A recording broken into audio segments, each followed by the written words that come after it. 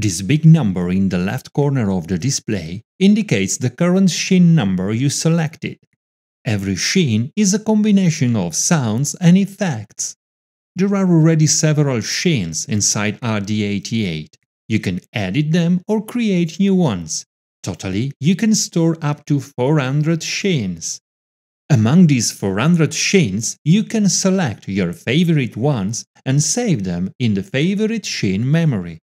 First, press the Favorite On button to enable the favorite scenes. After choosing the scene number using the decrease and increase buttons, you can save it in the favorite location.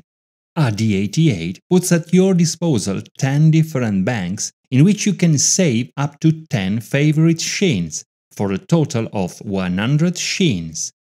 Choose the bank by pressing Favorite Bank and select the bank number with these buttons. Then, while holding the Favorite On button, select the location using again these 10 buttons.